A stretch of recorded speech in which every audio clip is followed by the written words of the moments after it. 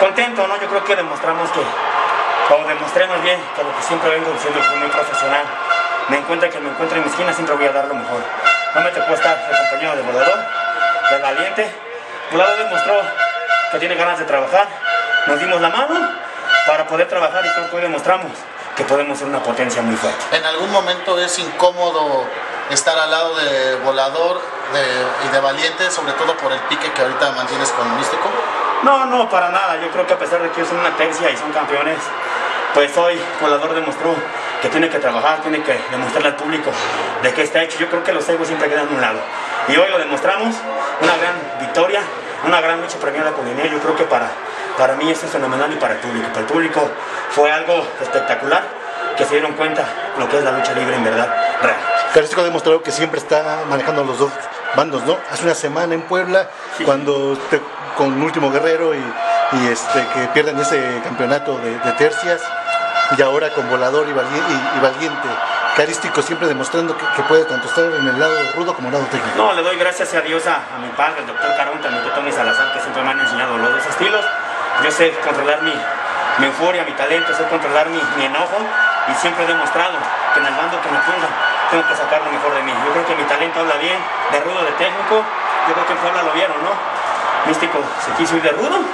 La gente me grita muchísimo a mí, me apoya, le agradezco infinitamente a toda la gente de Puebla, de aquí de la Arena México, que siempre me han apoyado. Y sobre todo, lo he demostrado que del lado que me pongo siempre voy a dar no el 100, el 1000%. Se lo preguntamos también a, Místico este, esa misma semana eh, del reto que tiene contra ti y poder culminarlo tal vez en el aniversario 85. Pues es algo que que, lo va a manejar la empresa, es algo que se quiere hacer un pique.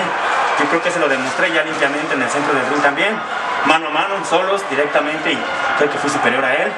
Y, le gané limpiamente porque nada me costaba meter las rudezas, demostrarle de qué estoy hecho. Simplemente le demostré que sé ganar limpiamente y lo vio el juego.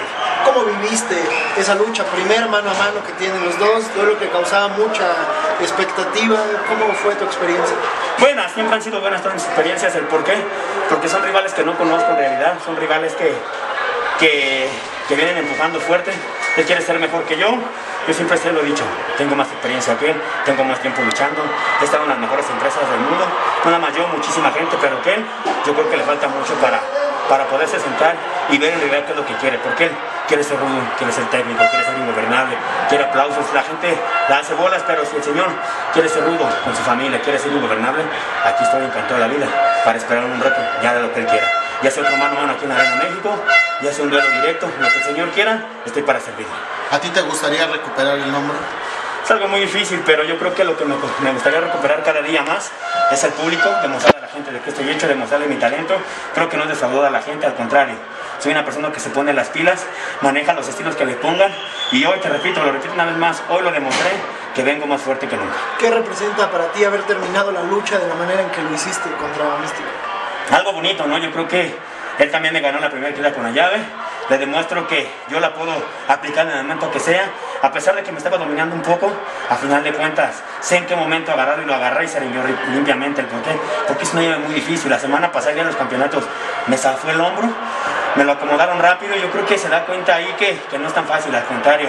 Cualquier oponente es difícil, sea de la primera lucha, sea estrella, siempre nos van a sacar el mil por ciento. ¿Por qué? Porque todos queremos crecer. Y esa noche, Místico demostró que tiene patas para gallo para algo más. Oye, Místico, Místico eh, comentó eh, de, todo lo que se gritó en Puebla, que el famoso grito de Místico Pirata. Él decía que el pirata eres tú porque le estás copiando ahora lo que hacía antes como Místico.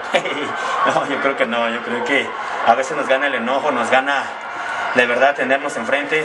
Yo lo dije en el seminario Informa, que es algo raro para mí enfrentarme en un mano a mano, ¿por qué? Porque es que si luchara contra un espejo, me veo en un espejo, ¿por qué? Porque le veo las ganas, le veo que quiere sobresalir, pero es algo bonito, yo creo que la gente nos puede gritar como quiera, la gente nos puede aplaudir, abuchar, gritar, silbar, ovacionar, yo creo que la gente sabe la trayectoria que yo he venido haciendo, la trayectoria que hice desde un principio, la que vengo haciendo últimamente, yo creo que ya nada más esperar que es lo que quiera, y si el Señor quiere este, fumar la pipa de la paz y una gran pareja, lo podemos lograr. Yo tampoco estoy peleado, al contrario, nada más quería demostrarle en un mano a mano quién era mejor que el otro. Demostró que tiene patas para gallo, pero simplemente le gané y fui mejor esa noche. Gracias. Gracias.